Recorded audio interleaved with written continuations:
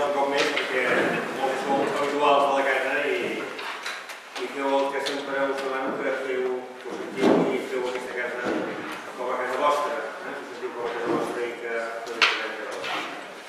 Eh, benvinguts eh, amb, aquest, eh, amb aquest acte. Eh, homenatge a Montserrat Rovelló vam començar amb el barbuc poètic eh, dedicat a l'Imbella, aquest any a Montserrat Avelló. Eh, aquest any també el projecte que té per Sant Jordi eh, des dels serveis territorials, des del Vega del Fris, aquest és de Sant Jordi, aquelles persones que no poden viure Sant Jordi com a festa de carrer, que estan ingressades en centres sociosanitaris, en hospitals, a la presó. Eh, la part de poesia va dedicada també a Montserrat Avelló. El projecte es diu La veu en frisa, en homenatge també a un vers eh, de la de la Montserrat. Eh, I avui ens em complau molt, com a director dels serveis territorials, poder tenir, poder acollir aquest acte organitzat per Òmnium i per la PEC doncs, d'homenatge. El que dèiem ara, és a dir, són actes aquests que ens ajuden a fer més passadors aquests dies de Madrid, que no sabem ben bé, de la Rosa Maria, a part de la gent que tenim, no sabem si haurem de suspendre cosa per anar-nos a concentrar no sé, quin, no sé quin lloc o fer segons quina altre tipus d'acció, però en tot cas aquesta mena de normalitat, no normal, normalitat no m'agrada, però hem de fer servir aquesta normalitat gairebé fictícia que estem vivint, eh, ens ajuda també eh, a fer un tot plegat més passador, malgrat que eh, quan pensem en els demòcrates que tenim a la presó, els demòcrates que tenim a l'exili, amb les seves famílies, doncs el neguit eh, no, no cessa.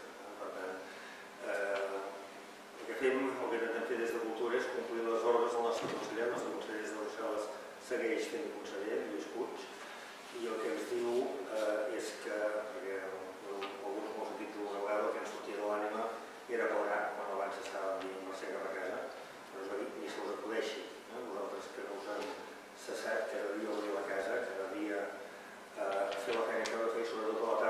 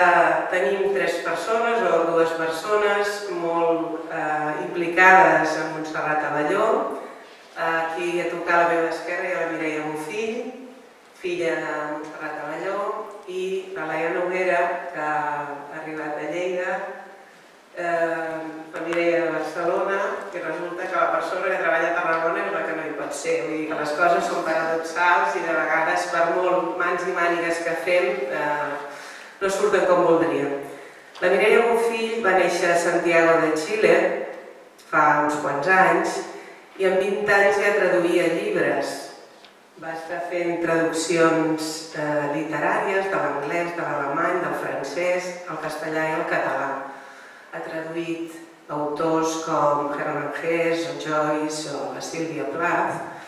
També ha tractat eh, temes d'economia i ciència. Va pertànyer al col·lectiu editorial La Sal, ha estat traductora externa per organismes internacionals, la UNICEF, la Comissió Europea, el Parlament Europeu. Bé, Mireia, eh, la primera qüestió que vam plantejar a l'hora de parlar de la taula rodona i vam demanar que ens digués eh, quina és la relació que va tenir amb la seva mare i en segon lloc la relació amb el feminisme. Quan vulguis ens ho pots explicar, sisplau. Gràcies.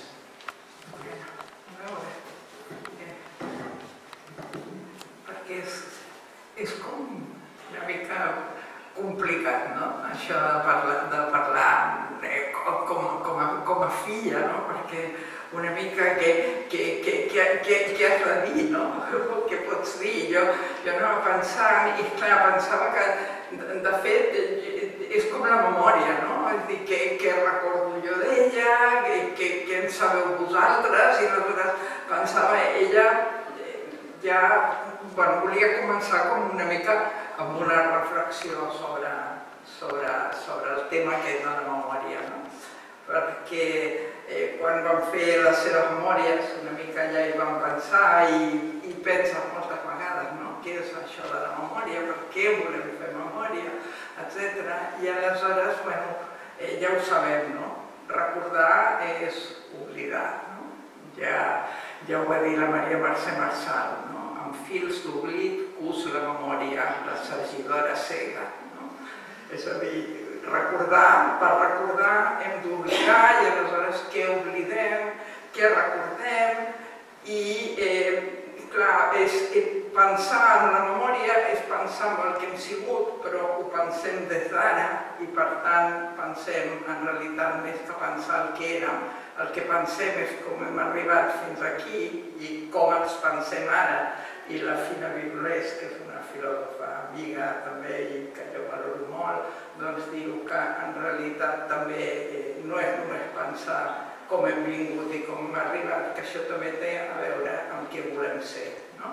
És a dir, que el que diem mai és tot, sinó que té a veure amb tot això, amb qui som en aquest moment, en què volem ser. De fet, ara parlarem d'unes coses que estaran més endavant, potser, al final de l'acte parlarem més de la situació actual, com s'hauria situat la Montserrat ara, doncs si no estiguéssim en aquesta situació, potser ara no, no recordaríem tant aquestes coses i en recordaríem algunes altres, no?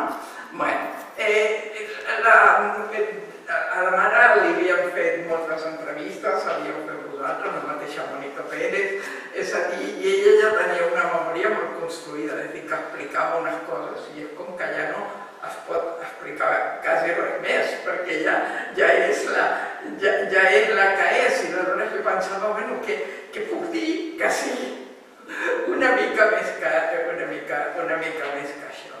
Bueno, eh, per ella dir-vos que, i d'això potser no en parlava tant, però que per ella la memòria de tot el temps, de quan era petita, eh, del que havia viscut la seva infantesa i quan vivia a Cartagena, quan vivia a Londres. Bueno, jo estic donant per suposat que més o menys ja, ja, ja us ho sabeu. Si no, eh, si, si hem de fer una mica de repàs, eh, el fem. No, ja anirà sortint. Ja anirà sortint, no? Ella, ella, va ella, ella, va, ella va néixer a Tarragona i va viure aquí fins als 4 anys, però després el seu pare el seu pare era oficial de Marina i el van anar destinant a diferents llocs i aleshores va viure una temporada a Cádiz, després a Londres, i va ser on va aprendre anglès, que després li va servir ja pel rest de la seva vida, després va viure molts anys a Cartagena, que el seu pare era director de la Drassanes allà. I aleshores van tornar a Catalunya quan la República, però de fet hi va estar molt poc temps perquè de seguida va anar malament i se'n va anar a l'exili, va viure 20 anys a Xile i no va tornar a Catalunya fins l'any 1960. Per, per dir. Doncs ella, quan, quan ella ens explicava a nosaltres eh, moltes coses de quan era petita. És a dir, eh, quan fèiem les seves memòries, ara que amb el llibre de memòries, en veritat jo era la memòria moltes vegades perquè li deia i no te'n recordes d'allò que t'explicaves, que no sé què. No? És a ella, eh, per ella la memòria de quan era petita i de, i de com se sentia i de que el món era estrany no? i que et passaven ella, que ella no entenia i jo penso que en certa manera mai va deixar de ser aquella nena petita, no? que no entenia ben bé el que passava, no? els seus germans deien que era una bleda perquè, posava, no? perquè es prenia tot massa a pit, perquè s'ho prenia massa en seriositat i jo crec que sempre una mica eh, va, estar donant, va estar donant voltes amb això, va anar depurant aquesta, aquest, aquest posar-se al món, però jo penso que quan ja era petita, i m'ho penso per el que ens explicava, no? i perquè, bueno, m'ho explicava quan jo també era una nena, no? i que hi havia una, una voluntat com de no perdre, no? aquesta mirada com, com, de, com de nena, no? innocent encara, i, i així, no? I, i això jo crec que ho va, eh, que, que, que ho va conservar. I lligat a aquestes memòries d'infantesa i, i el tema de les llengües, perquè de fet eh, eh, bueno, sempre li va agradar jugar amb les paraules, ella ens ho deia, i de fet, clar, quatre anys, fins als 4 anys parlava en català. Vivien aquí a Tarragona i realment l'entorn parlava en català. Dos se'n van anar a viure a Cádiz i dos parlaven en rus. No? I ella sempre ho explicava, la meva àvia sempre explicava, dic, la teva mare deia, el so. I, i parlaven andalús, no? I després van anar, van anar a Anglaterra i van, i van aprendre a parlar anglès, no? Que van, van anar a l'escola allà i aleshores començar a aprendre, aprendre l'anglès, no? També, clar, van anar en un parvulari i també el van aprendre no, no, no així d'ensenyar, sinó de jugar amb les altres nenes i així, no? I jugar amb la llengua, la llengua i els, els nursery rhymes i jugar amb això. Després van tornar i clar, van anar a Cartagena i era un altre castellà, no? que parlaven, i aleshores després van venir aquí. Doncs hi havia tot això de, de jugar amb aquestes llengües diferents, no? Això és una cosa que sempre ens, ens, va, ens va arribar, eh? perquè la llengua, bueno, n'hi ha moltes i és com una cosa la que, amb, la, amb, amb, la que, amb, la, amb la que pots eh, amb la que pots jugar. No?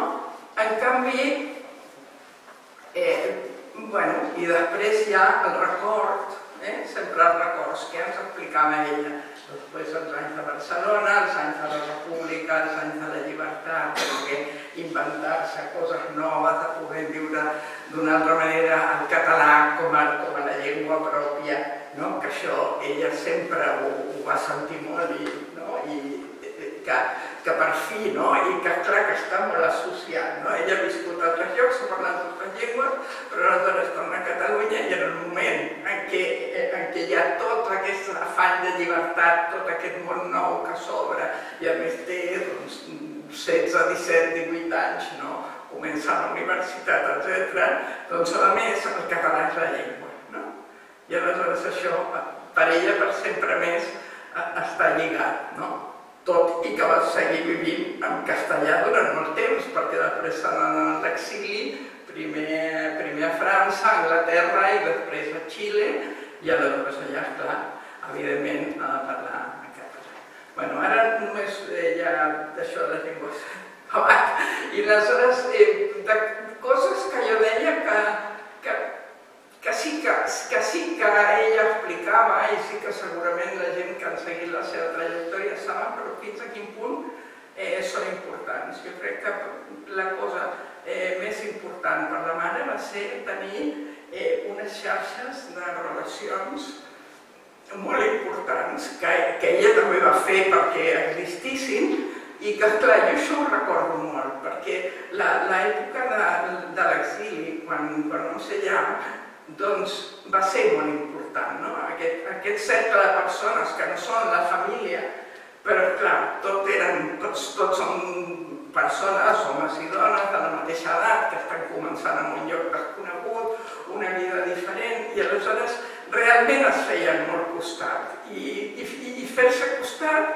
volia dir tant fer-se costat amb lo, amb lo més material, no? potser d'ajudar-se a tirar endavant, d'ajudar-se amb la feina, d'ajudar-se doncs, amb, amb els fills i les filles, perquè molta gent doncs, no tenia família, no tenia els avis, no? aquest suport que sempre hi ha, sinó que eren només famílies joves, no? Però, I al mateix temps que s'ajudaven amb això, doncs era el suport intel·lectual. Jo recordo de petita molt que la mare i les seves amigues es trobaven, trobant a Baragà, un dia en una casa, un dia en una altra, i aleshores eh, cosien i feien, cosien perquè, perquè s'havien de fer fastits, perquè tampoc, bueno, clar, això sempre la gent s'ha fet els vestits, no? però la mare que venia d'una família que havien sigut més o menys benestants, doncs anaven a la modista, no? I ella va passar d'anar a la modista, que cada any fer-se un lloc de vestits, doncs haver-se de cosir, i que ella deia, vaig aprendre a fer brics amb ombreres. Eh? I, i, i tot, i bueno, total, que es reunien, i es reunien, cosien, feien mitja, però en, mentre feien això, doncs parlaven de llibres o de pel·lícules, no? I a mi, a mi això m'ha quedat molt, no? de, de que, i crec que està en els seus poemes, no? de, de que la vida de cada dia i la vida intel·lectual no són dues coses separades, sinó que tot eh, està, està entrelligat. No? I hi ha aquest, eh, aquest suport. I doncs, què, què més? Eh, va anar, va anar a un taller literari, allí va ser on va, no on va començar a escriure, però on va començar a escriure, a intercanviar per altres, primer un taller literari que feien, eh, feien en castellà, i després ella va veure que si no escrivia en català, doncs no, no, no, no, que no era el que ella volia escriure i va començar a, a fer-ho en català. Eh, continuarem amb això de les relacions, perquè la Laia ja parlarà d'altres coses, però quan, eh, quan torna a Barcelona, jo crec que eh, la, la, hi ha uns anys en què li falta aquesta, aquesta xarxa de relacions. No? Ella té el, el poema del retorn en el qual diu i aquí sóc amb vosaltres, però d'alguna manera durant uns anys va tenir la família, això sí, eh? i era una família, la família vella era una família molt extensa i per tant n'hi havia molta, i, però tot i que va poder publicar, doncs si vam tornar l'any 60, l'any 63 va poder publicar el primer llibre, que és Vida Diària, però no va, no, no va tenir, no, no, no, no va, vull dir, no va trobar, no, no és tant que no, que, que, que no la volguessin ni res, però no va acabar de trobar el seu lloc, els cercles intel·lectuals eren molt tancats,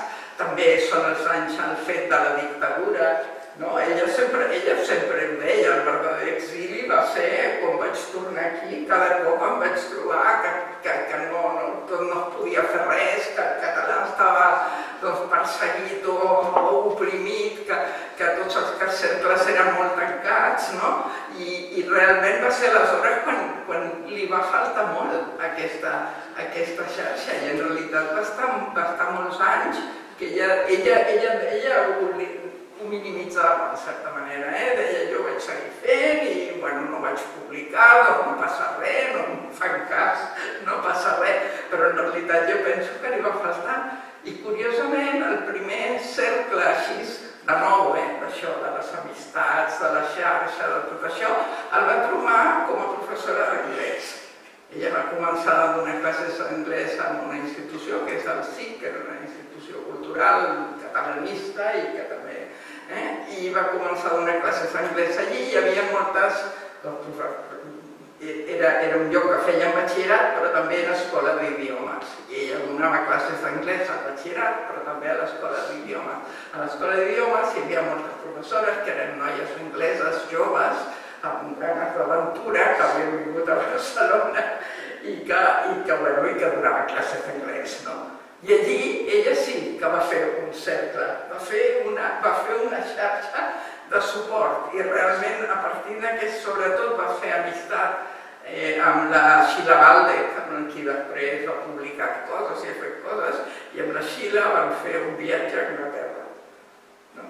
Van fer un viatge a Anglaterra que era una mica rememorar eh, la mare quan abans de començar la universitat, durant els anys de la República, ella i la seva germana havien fet un viatge a Anglaterra, que havien passat un estiu, que havien passat un parell de mesos a Anglaterra, que el seu pare les, les, bueno, les havia deixat anar, no? I aleshores aquest viatge a Xile era una mica com rememorar no? el, el viatge aquest a Anglaterra i allí va ser on d'alguna manera va descobrir Sílvia Plath, que després per ella va ser molt important. No? Si a casa tuya la part més literària del tema ja l'explicaràs tu, però ella aleshores eh, descobreix com a Sílvia Plath i descobreix com una ànima bessona, en certa manera. Escrivia de la manera com a ella li agradaria escriure. I això ella ja ho feia, o almenys ella sempre diu jo ja ho feia, Diu, però això va ser com dir, eh, em, reforça, no? I continuo. Bueno, i, eh, I aquest és el seu primer cercle i després ja una mica ve el, ve el, ve el, ve el, el moment del, del, del feminisme a, a Barcelona, no? eh, que comença, eh, que, comença eh, que, és, que és una mica, eh, una mica la relació i ara faig com un salt, no, això no, és, no té gaire fil, però dir-vos una mica, perquè això, això té molt a veure amb la, amb, amb la relació que tenim nosaltres, i aleshores us haig d'explicar una altra cosa, que és que a mi els poemes de la meva mare no m'agradaven. Eh, quan, va sortir el, quan va sortir el primer llibre, quan va sortir Vida Diària, a mi aquests poemes no, no, no, no m'acabaven d'agradar perquè trobava que eren resignats i que eren poc combatius i que eren no, de dir sí, ja em toca rentar, ja em toca fregar, ja sobre estic contenta el, el, el llegir d'aquesta manera. Hem, hem, hem quedat en la Laia, que llegiries, que llegiries tu, aleshores, a veure si el trobo, aquest que es diu Soc com un home,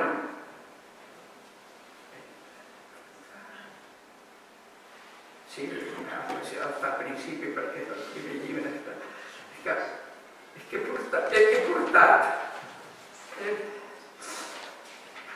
he, no, no tinc. A veure, és que he portat aquest llibre que és, eh, que, que és una traducció al castellà, eh, però que és bilingüe. I l'he portat perquè va ser la tria d'aquesta que he fet jo, aleshores, que ha fet cada noche un poema. Soc com una obra. Soc com una obra. Eh? I, i, i per això l'he portat, perquè la majoria dels que són els meus favorits estan aquí, i pas el menys, que el poden agafar però ara ho he, ho he marcat tan malament que ara no sé, però bé. Ja el llegeixes, sí. Soc com una ombra perduda en la nit. Estimo el raig de sol, l'oreig del mar, la rialla fresca, el dolç somriure, la mà forta. Aquesta tarda d'estiu, plena de llums, rosades, blaves, verdes, massa crues. Però caldrà que em posi com cada tarda a repassar la roba, ficar les mans dins l'aigua bruta i destriar entranyes innocents. Cosir botons, empènyer la planxa. Només de tard en tard puc agafar la ploma. Em dol del pit i de l'esquena, però diré que aquesta tarda és rosa i blava, única, molt tendra, inoblidable, perquè l'he viscuda i és meva. I això que estic cansada.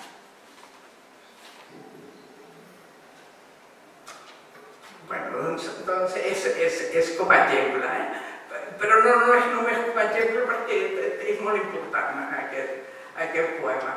Eh, aleshores, és clar, a mi no, no, no m'agradava, no? perquè era allò com dir, això que estic cansada, sobre mi que bonic, no? I, i em semblava, em semblava com, com, com, com horrorós, no? I, i una mica com dir, ostres, i la, i la meva mare, que, que, que, que quin és el missatge que em dona, que, que, que cosi botons, no? És a dir, pensa que quan surt el seu llibre, que és l'any 63, jo tinc 18 anys, vull dir que clar, que és com aquest decalatge, potser el moment. Però aleshores, què passa? Que passen els anys i jo, jo moltes vegades ho he dit, o algun que m'ha tocat fer xerrades sobre, la, bueno, sobre això, les mares, les genealogies, tal, que arriba un moment que nosaltres som més grans que les nostres mares. Eh, som més grans en el sentit que ja tenim més anys que els que tenia la nostra mare quan érem petites. I per tant, no? La, la podem comprendre, no? Aquella mare, la que ens barallàvem, de cop la podem entendre, perquè nosaltres som més grans. Clar també és mentida, no? Perquè no som més grans, perquè també hi ha l'altra mare, perquè és més gran, doncs segueix sent més gran, no? Però, I aleshores doncs, arriba aquest moment i en l'època aquesta del feminisme jo estava, ja, havia, ja estàvem a l'equip de la sala edicions de les dones, jo estava també a la coordinadora feminista i teníem una revista, un butlletí que feia Dones en lluita, i aleshores un dia que jo vivia fora de Barcelona i venia a unes reunions i em quedava a dormir a casa de la mare perquè no tenia temps d'agafar el tren per anar-me'n a casa. I aleshores un dia agafo un llibre i me'l llegeixo i de cop aquest poema, ostres tu, que el veig completament diferent. I aleshores el vaig agafar i el vaig, vaig portar a la, a primer a Dones en Lluita i, i els vaig dir, escolteu, hi ha aquest poema, tal, no vaig dir que era la meva mare, que, que a mi em sembla que és interessant i tal i qual. Bueno, total que allí publicàvem, eh? publicàvem poemes, vull dir, era un butlletí, però hi havia una part que publicàvem poemes. I aleshores resulta que va agradar molt, veien unes noies que, que cantaven, la Chiqui Berraondo i l'Anna Sobirana, li van posar música i el van, i el van cantar. Esperem que ara el tornin a cantar, perquè ara, amb motiu d'això de l'any Avelló, volem fer un, un festival de música que farà el primer de juliol a Torroella de Montgrí i li hem, li hem demanat a l'Anna Sobirana que vingui i el canti. Eh? Quan vaig parlar amb ella, li vaig dir, Anna? Diu, sí, és clar, i es va posar a cantar. És a dir, que encara se'n recordava. Bueno, arrel d'això, ella que va agradar, i com que jo estava a, la, a les edicions de les dones, els vaig dir, escolteu que la meva mare té aquest llibre de, que m'havia sortit fa 20 anys i que potser el podríem recuperar, tal i qual, i amb ella se'ls va agradar, i, bueno, i la mare va retrobar una Mari Jordà, que era la poeta de l'editorial, i van, van, van fer van fer, van fer reeditar aquell llibre més un altre. I a partir d'aquí, doncs, bueno, clar, començar a tenir un cercle de relacions, és a dir, el meu, jo estic en aquell punt, però hi, hi ha una època en què la Montserrat Amelló és la mare de la Mireia, no? perquè anem juntes, molt, comencem a anar juntes a molts llocs, a participar doncs, en tertúlies literàries, a, a participar doncs, en les edicions, etc. I bueno, hi ha una època que és aquesta, però ella aleshores ja troba el seu cercle, ja troba el seu cercle d'altres escriptores, d'altres poetes, comença a col·laborar amb Maria Mercè Marçal, munten el grup d'escriptores del PEN, i bueno, i ja ara, com heu vist, jo sóc la filla de la Montserrat Cabelló, ella no, no, és filla, és la mare de la Mireia, jo sóc la filla. I la mare sempre deia, i així s'acabem bé, eh, eh, durant molt temps deia, clar, és que les meves amigues ara són com la meva filla. I llavors va arribar un dia que va dir, és que ara les meves amigues són, ja són com la meva neta, i aleshores una d'aquestes és la Laia, i així ella pot, ella pot continuar. I, bueno, i després sí, si voleu preguntes de coses més serioses i més concretes, sí, procurarem contestar mirarem de presentar.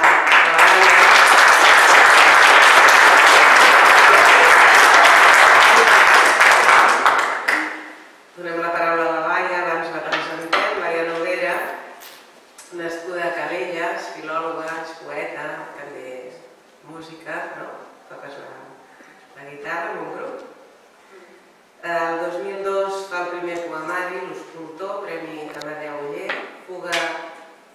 Evasió el 2004, Triomf el 2009, Premi Miquel de Palol, Caure 2011, Premi Augies Marc, Amor Total, de nit, autorretrat en vers de 500 pàgines el 2017. Bé, eh, no sé si és l'últim, però la Laia, juntament amb Celeste Elias, han fet aquest llibre, aquesta antologia amb un disc que es diu Tot sembla tan senzill, i en obrir el llibre ens trobem que expliquen una mica com mm, és la poesia de Montserrat Avelló. Diu, un ancoratge a la llum, un aixopluc, camins que es bifurquen, retorns, preguntes i silenci. La veu amarga i la veu esperançada, transitant entre les flors, els corriols de la lluna, en aquest planeta trepitjat. Així és la poesia de Montserrat Avelló, vital i rebel, inquisitiva i obstinada. Per presentar la Laia també, la Júlia llegirà un poema que va escriure la Laia dedicat a Montserrat Avelló, que el tenim a la pàgina següent, que es titula Fèrtil, per a Montserrat Avelló. Júlia, quan vulguis.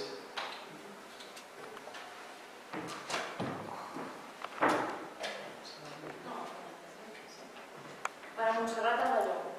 Al bosc on hi ha la Déu, tot és silenci. Camina la poeta amb les mans buides, amb gratitud la terra fèrtil. Poeta són els arbres, poeta són les ombres, i el sol que broda l'aire. Camina la poeta, s'hi perd i s'hi retroba, somia certitud, i s'atansa la Déu, la Déu que és mare. Pren l'aigua amb les mans buides, rebent amb gratitud la parla fèrtil i el gran silenci.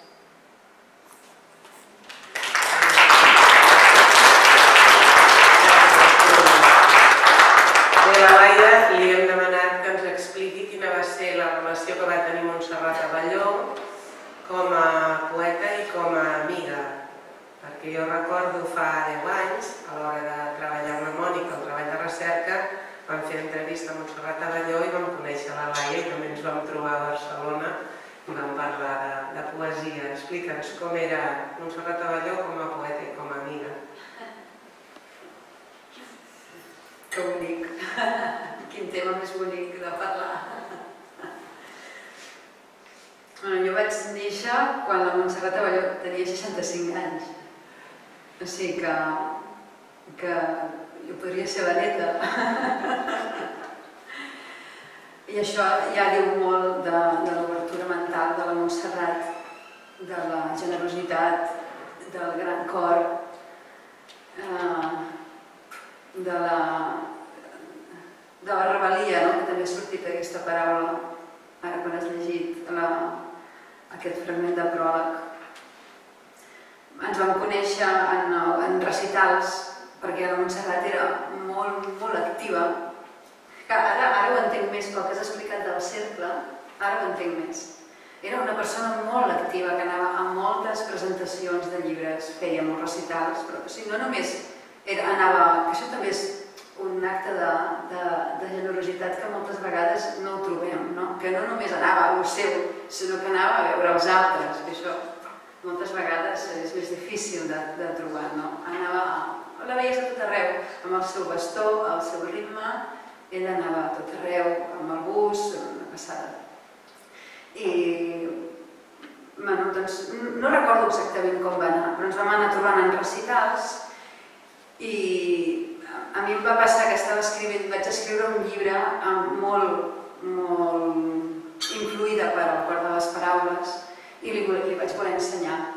I a partir d'aquí ja es va establir, ja es va establir un, un, una amistat molt bonica que bueno, al final doncs, cada divendres anava a dinar a casa seva i, i feia un primer Manhattan i, al, al còctel? I després dinàvem i que a mi m'encantava en especial les llenties que em feia, boníssimes, les, les continuen sent les meves llenties preferides, les tinc ja mitificades.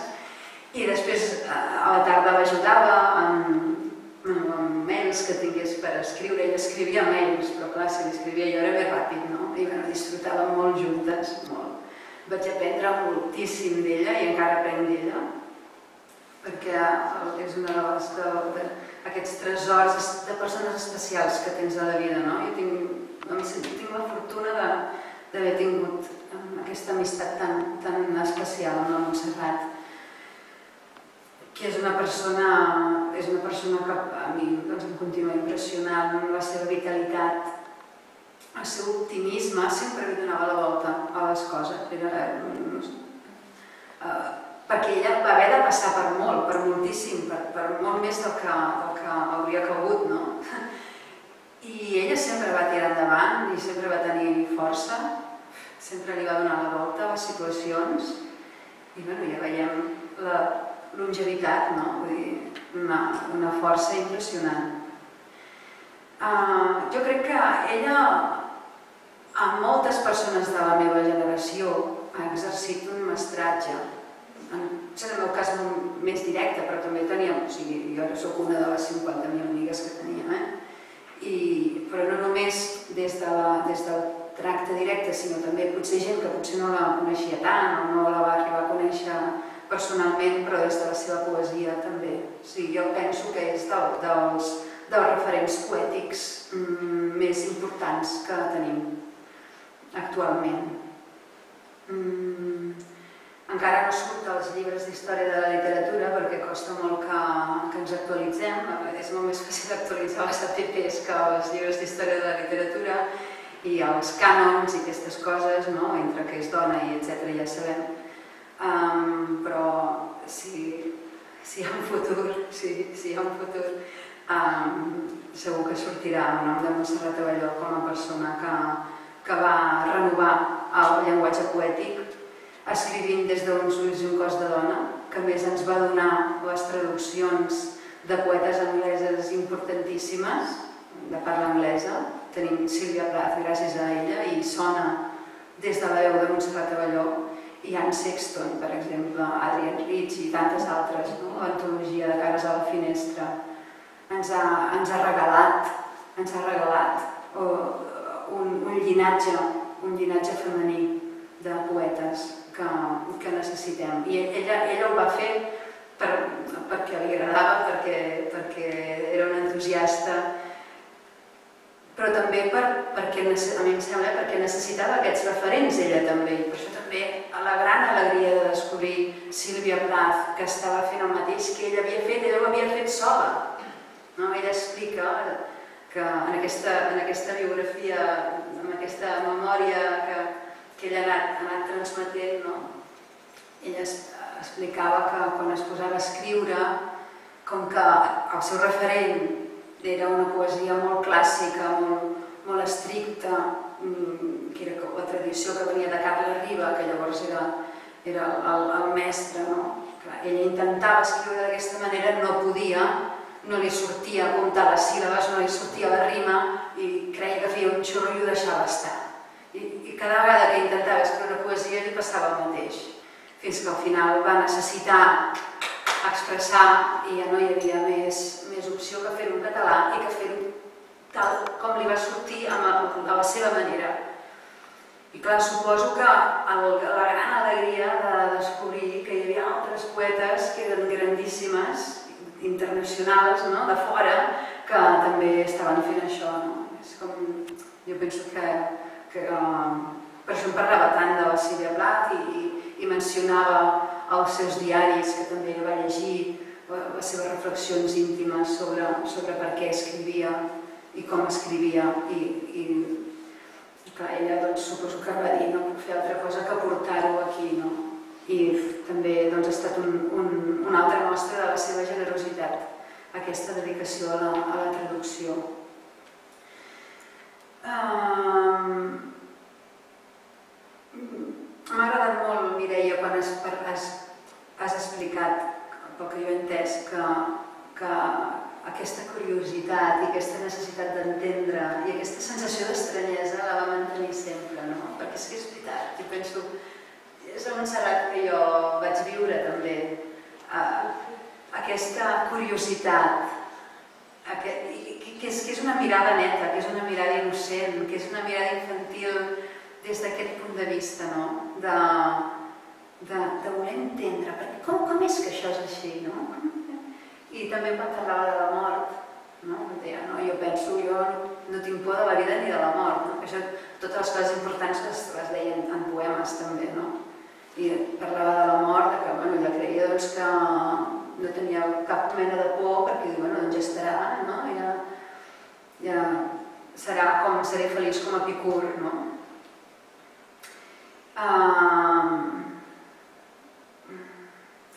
L'altra cosa que, que voldria dir és uh, la força de la seva poesia, també la força de la seva poesia.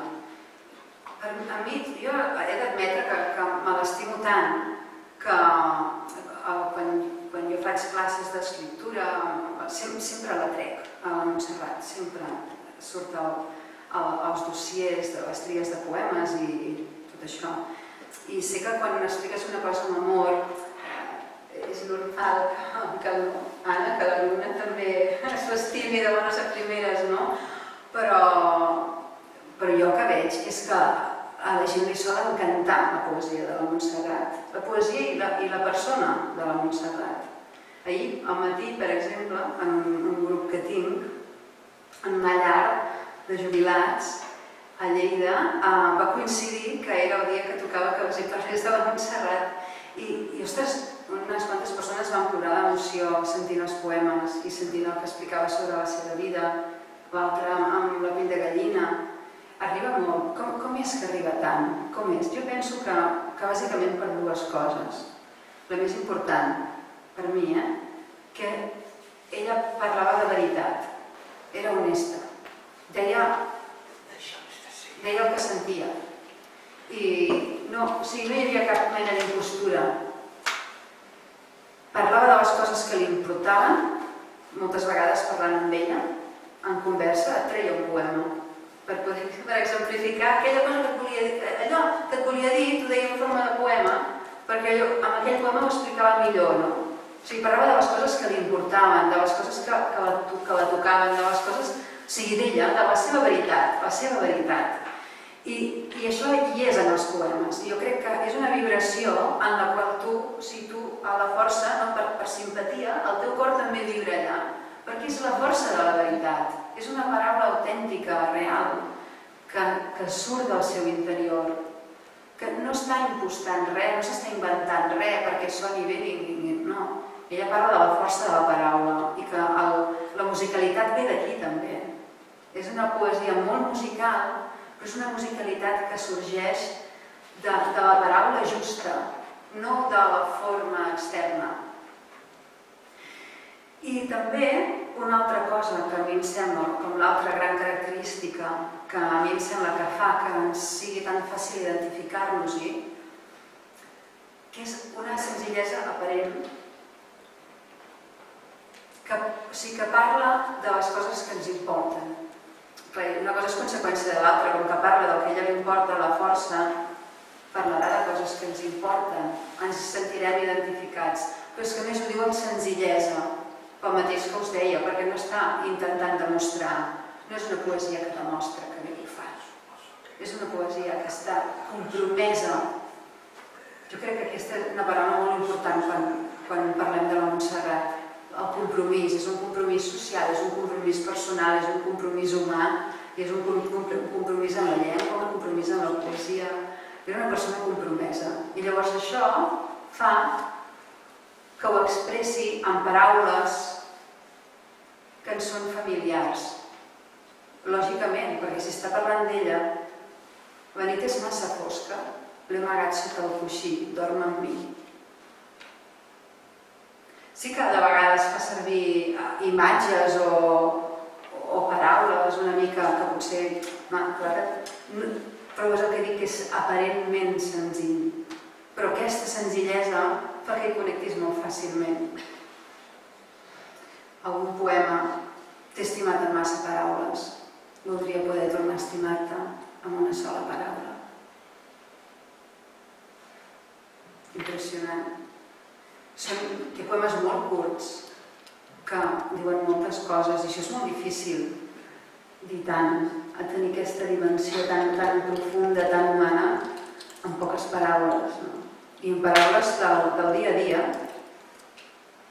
a mi, a mi em resulta impressionant i penso que em sento molt agraïda i penso que molts també estem agraïts a que ell hagi escrit, a que ell hagi estat com és, que hagi, que hagi, sent, que hagi tingut una sensibilitat que ha tingut, que davant d'aquest gairebé segle de vivències eh, amb tanta, tants episodis, no?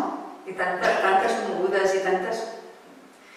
que ella hagi s'hagi mantingut, que hagi tirat endavant.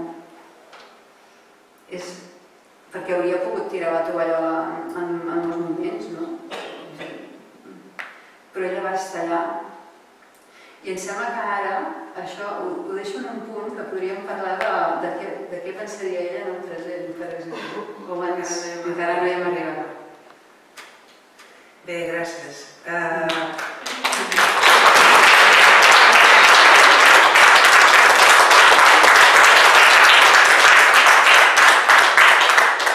bé, dos, dues ratlles només perquè la tercera persona que havia de ser avui aquí a la taula és la Mònica Pérez d'Iglesias, nascuda a Luanco, Astúries, va arribar a Tarragona amb 4 anys al Col·legi del Serrallo, va estudiar a l'Institut Martí Franquès i el treball de recerca va ser sobre l'obra de la Montserrat. He de dir que el dia que em va venir a veure perquè li dirigís el treball de recerca volia fer un estudi d'una dona, poeta, tarragonina. Llavors, consultats als filòlegs, Magí Sunyer, el Departament de Filologia Catalana, em van dir Montserrat Avalló. Va ser una descoberta, mm, realment mm, penseu, doncs, una xiqueta com la que veureu ara, Montserrat, aquí tenim la Mònica, la Mònica se'n va anar a la platja amb aquest volum, que és l'antologia, el cor de les paraules, i es va passar l'estiu a la platja llegint els poemes de la Montserrat. Fent el treball, comentant els poemes, molt ben assessorada pels filòlegs, així Sunyer, i bé, el dia que vaig posar el treball de recerca, el tribunal li va dir però aquesta informació no l'has treta perquè no hi ha referències. I va dir, no, no, és que és meva. Va fer un treball impressionant, va buidar. El primer treball és, n'ha fet dos, el primer treball es diu Fes teu aquest desig i endinsa't al cor de les paraules, que és una aproximació a l'obra i a la vida de la Montserrat, i és un treball magnífic que va guanyar el Premi Cirit i el Premi del Departament de, de Filologia Catalana de la Universitat Rovira i Virgili. I aleshores, des de l'Ajuntament de Tarragona, el Joan Cavaller, que el tenim avui aquí, doncs, eh, va continuar treballant i gràcies a ells doncs, va aconseguir una beca, la beca Josep Pixar, i va poder continuar aprofundint amb l'obra de la Montserrat. Són dos treballs que els podeu trobar penjats a la xarxa Pinet, a la biblioteca de Treballs de Recerca de Tarragona. Bé, eh, la Mònica no pot ser aquí, però alguna cosa dèiem de dir perquè realment d'aquell fet ha quedat eh, molt, molt sorpresa, satisfeta, contenta. Mm, Gràcies a ella ara vam fer a, a quatre mans un article a Montserrat també. Mm, he demanat a la Mireia i a la Laia que triïn un parell de poemes de la Montserrat i que ens expliquin per què aquests poemes i no d'altres i què és el que representen. Igualment, hi ha algunes persones del públic que també han triat alguns poemes i ens els llegiran. Quins poemes triaríeu vosaltres a la Montserrat? Per exemple.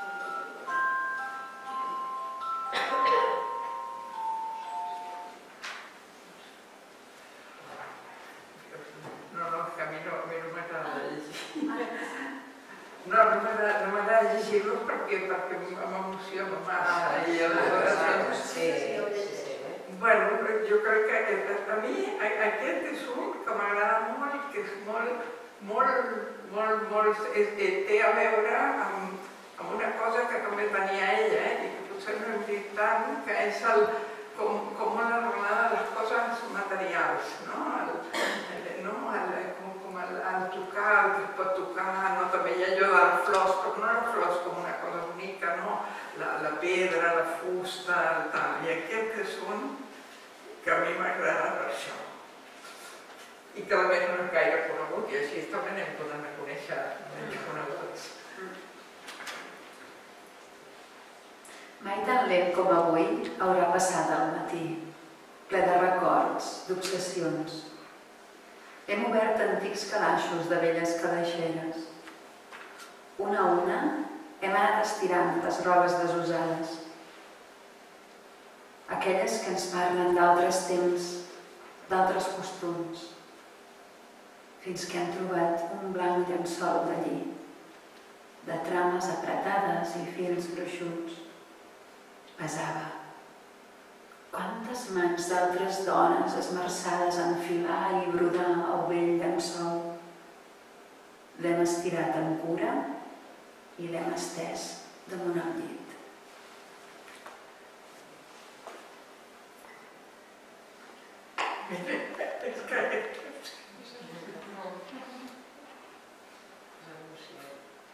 Sí, perquè em fa pensar, no?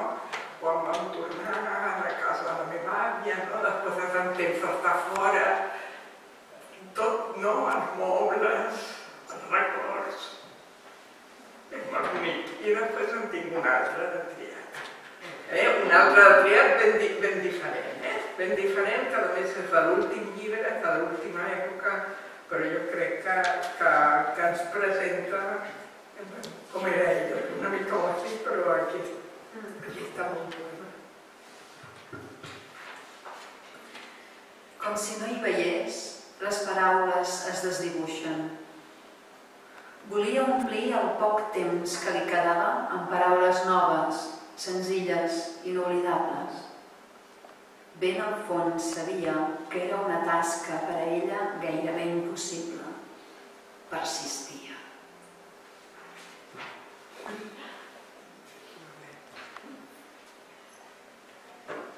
Així era ella, no? Persistia.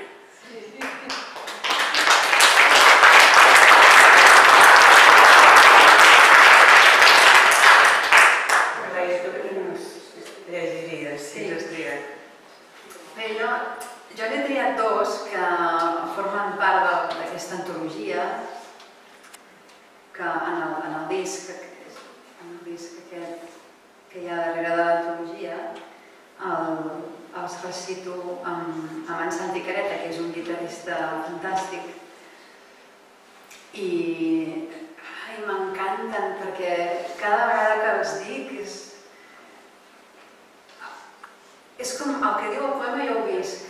Cada vegada, cada vegada que ho llegeixo visc el que diu el poema. I, i penso que ai, cada, cada, cada vegada que sé que algú descobreix la Montserrat, de, que descobreix la poesia de la Montserrat, me n'alegro tant perquè penso que, que és tan positiu, és, és, és, una, és una poesia tan, tan maca, tan humana, que, que, ens, que, ens, aj- que ens, realment ens ajuda a ser més bones persones o millors persones. I, i, i estic convençuda que el món seria molt millor si més gent llegís Montserrat Avelló. I penso que anar repetint aquests poemes és com un mantra que, que, que va cada vegada fent el món més bonic. I el primer diu plantar sobre la terra els peus, ja no tenir por. Sentir com puja la saba amunt, amunt. Créixer com un arbre. A la seva ombra aixoplugar algú que també se senti sol, sola, com tu, com jo. I l'altre diu, al jardí plou.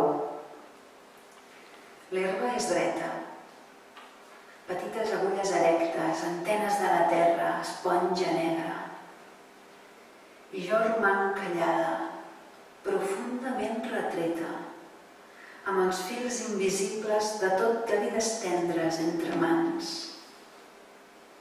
Dona, necessària com la pedra, sempre endinsada en la terra.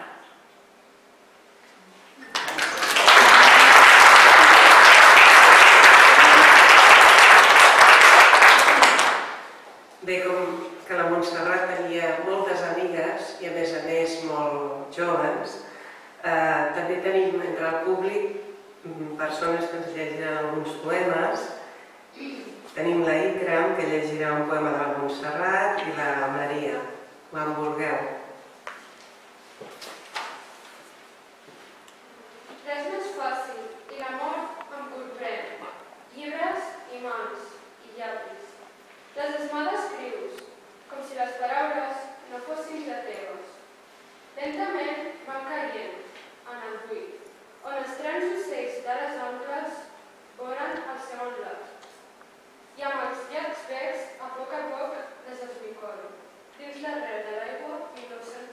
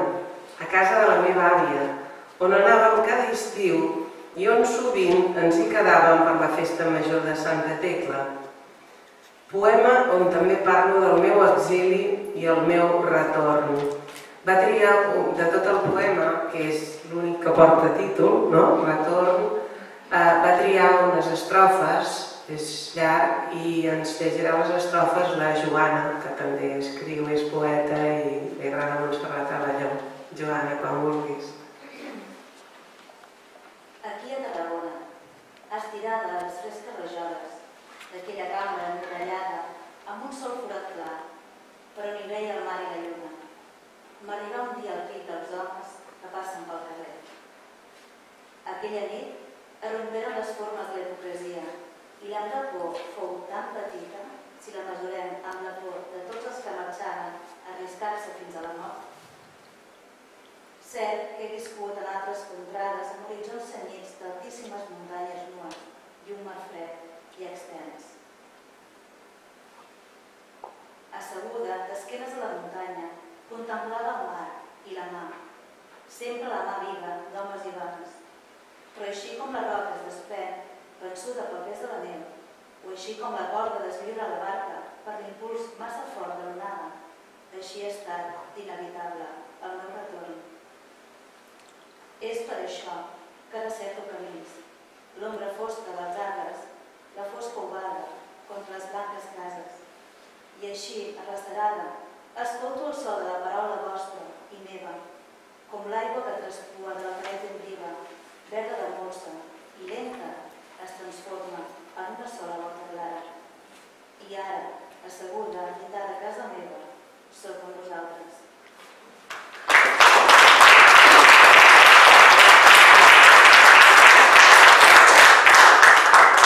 Han passat pocs anys i Montserrat Avelló, a la sala de plens, jo crec que és de les primeres persones que he sentit parlar d'independència l'Ajuntament de Tarragona, també deia això, Diu, avui tornen a sonar fosques remors contra la nostra petita autonomia i contra la nostra llengua. Fosques remors que sempre venen d'allà mateix. Cal que retrobem la força de la paraula, la nostra, i si cal, i cal, del nostre crit, que si els anys 70 va ser el de llibertat, amnistia, estatut d'autonomia, avui és el d'independència. Un crit, des de sempre, latent dins de nosaltres, com ja ho deia en aquest poema Rere la porta, escrit en aquells anys de foscor. I ens llegeix Rere la porta la Rosa Maria Codines, presidenta de Unió Cultural.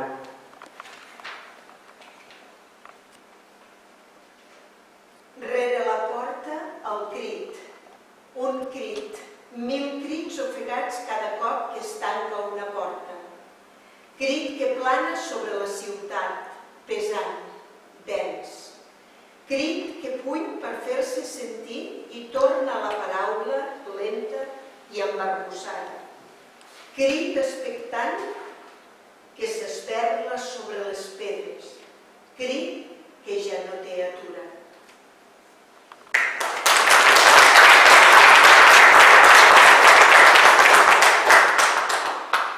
Bé, ara les convidades ens diran com, què diria Montserrat Avalló avui.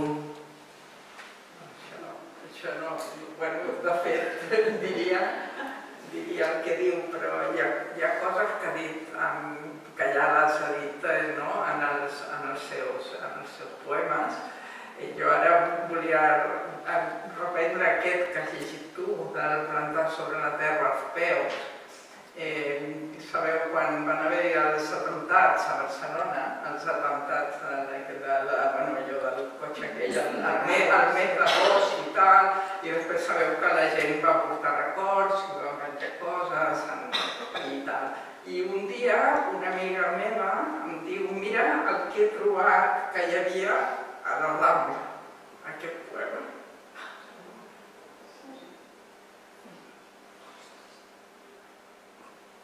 I és curiós, no? escrit a mà per algú, i a més es notava que, algú, que era espontani perquè estava mal transcrit. Eh, és dir, ja, ja estava, estava trabucat a l'ordre de, versos. És dir, algú que, en aquell moment li va venir de memòria és, és com molt emocionant, no? Ja, ja ho sé que jo sóc una programica, eh? o sigui que no feu cas, però, però és molt emocionant. I resulta que aquest mateix poema hi ha un grup de dones a Barcelona, que bueno, són amigues també, que es diuen Feministes per la Independència, i han fet una samarreta que justament també té aquest poema.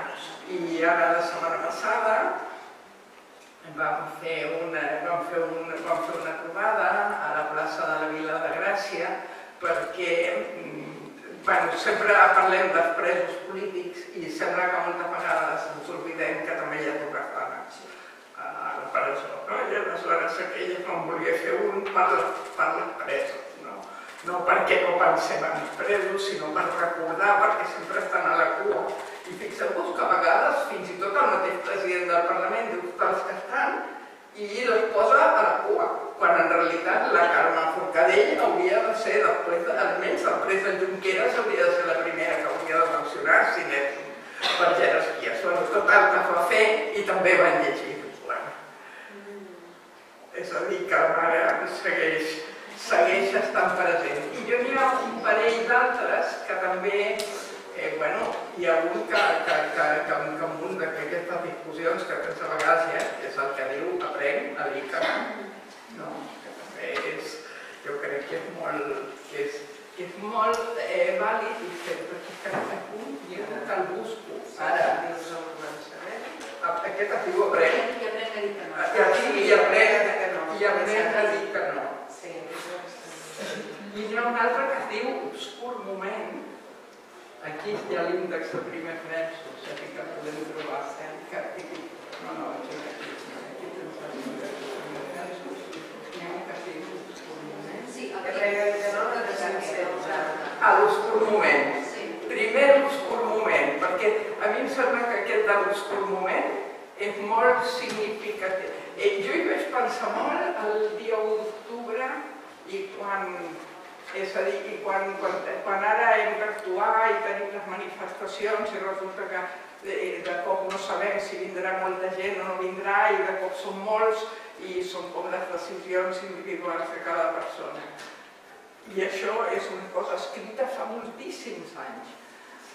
Obscur moment de decisió, de lluita, quan la voluntat es concentra petita, densa, de cremants preguntes, i, i cruix contra obligats costums i lleis inveterades, i masteguem paraules dins la gola eixuta, i l'acció ja ens és l'únic camí.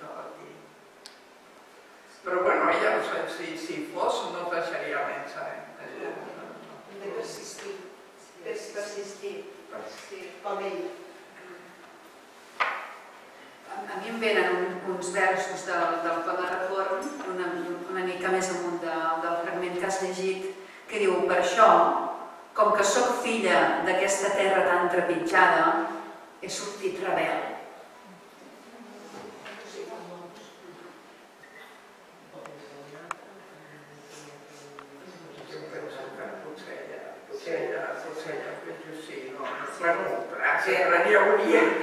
Acabarem amb les paraules sinceres, Si estigués aquí, no, no, no acabaríem mai, perquè a ella li encantava, li, li, li, li, li agradava molt, li agradava molt recitar-los una altra més. que se'l sabia de memòria i realment era d'admirar. Acabarem amb unes paraules que crec que una miqueta més optimistes.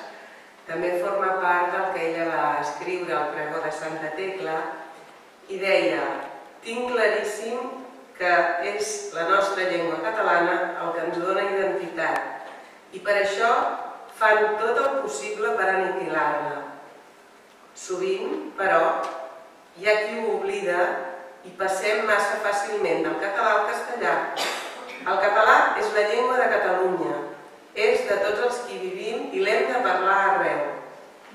La llengua viu per la paraula i del ritme i la força de les paraules neix la poesia, com en aquest poema que és un cant a la vida.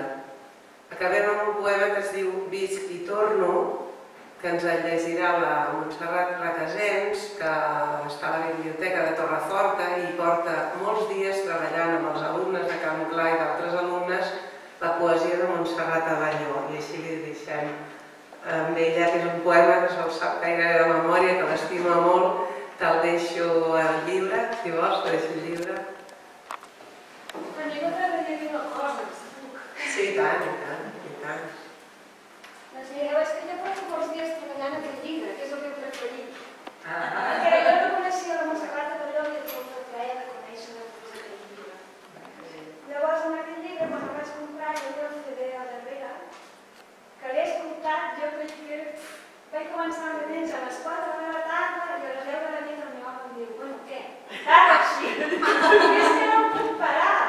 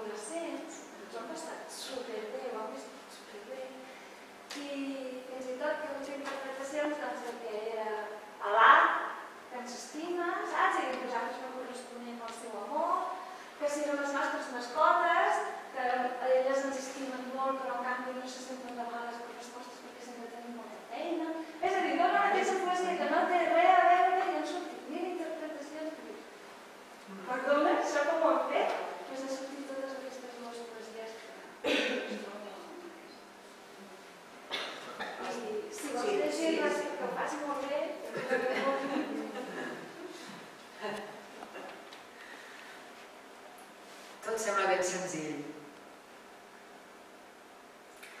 Tot sembla ben senzill. Quatre parets fan una casa. Un home i una dona, un fill. Una taula, quatre cadires i un llit per a dormir, néixer, morir. Tot sembla tan senzill si fos així.